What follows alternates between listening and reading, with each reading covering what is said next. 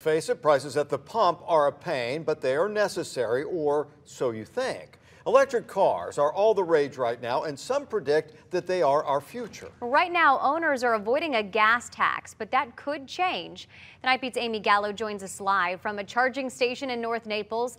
Amy, what's on the horizon?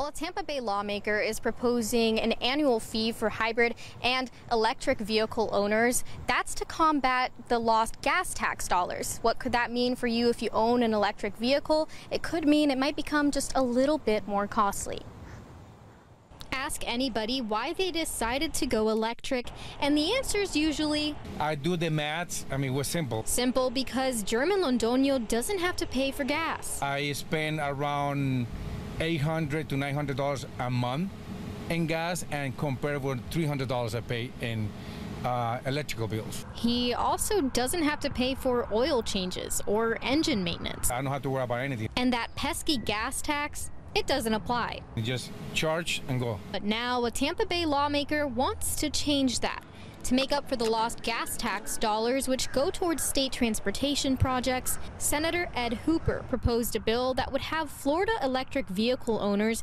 pay a yearly registration fee. That's ironic. Of $200 for fully electric cars and $50 for plug-in hybrids. All this in addition to existing car registration fees.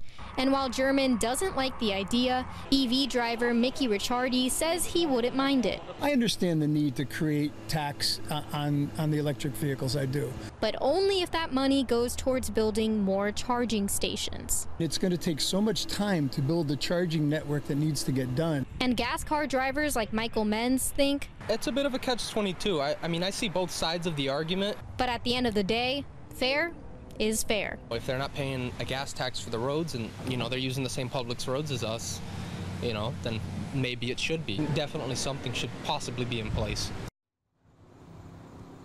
The proposal has been filed for consideration in the 2024 legislative session. Now, back in the 2023 legislative session, a similar bill was introduced in the Senate, and that did pass unanimously, but it never made its way through the House. Live on the Night Beat, Amy Gallo, Wink News.